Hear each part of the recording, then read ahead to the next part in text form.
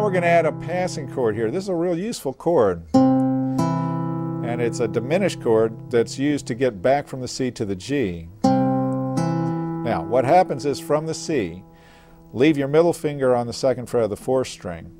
Bring your index finger from the second string over to the first, first fret of the fifth string, and your ring finger from the fifth string over to the second fret of the second. And get all those like that is a fairly easy change. And at the same time, we'll put down our little finger on the high string, which makes it a little bit more of a, something you need to practice. The crucial thing is not to move the middle finger, because if that comes up, you're sort of like a ship without an anchor.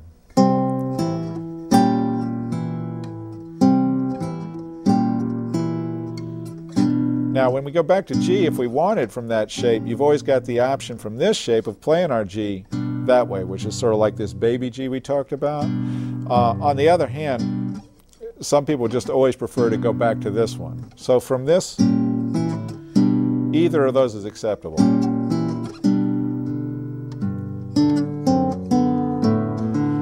Now, when we get to the part where we go from the D7th back to the G, let's also add one other little thing in here. We have a C note on the first fret of the second string at the end of the bar. And what we want to do is play that note and pull it off. So you're playing the open second string with the pull off.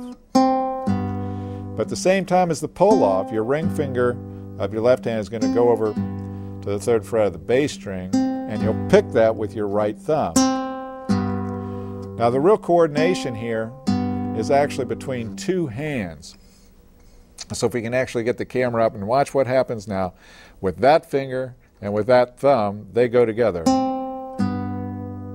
Try that again. And that's an interesting technique because if you've never done it, it feels very strange, but it's really no harder for beginners to learn than it is for an advanced people who haven't done it. But it gives a nice flow. Okay, now right away we got one more thing to look at. And this is not hard.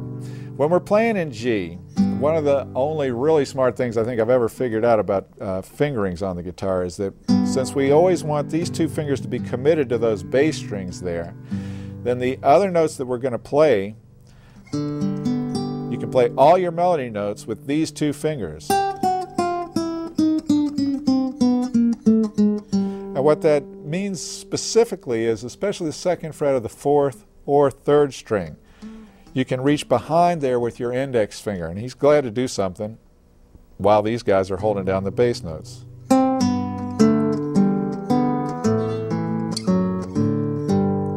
All right. And by the same token, when we're going into the second part, see how I'm reaching behind there with my index finger on the left hand to get that note on the second fret of the high string. Okay, then we come on C.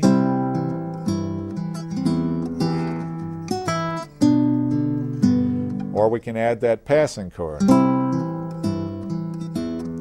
In this case, it's that chord there, but our little finger is now down. Instead of the third fret, it's on the second fret of the high string. It's actually a little easier.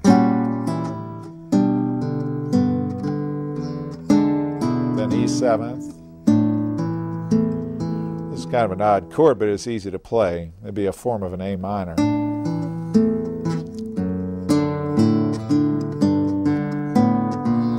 And that's just a little walk up in G.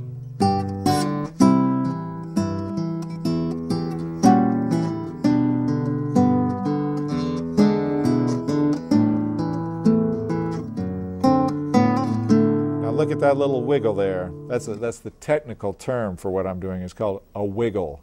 That's what um, Segovia called it, I believe. I could be wrong about that. So what happens there, in this case, you're just going to hit the open second string. You're on a D7, so your middle finger will already be down on the second fret of the third string, and your thumb's there on the second fret of the bass string. So you'll hit the open second string now, along with the sixth string, and then you do a hammer-on pull-off quickly with your index finger.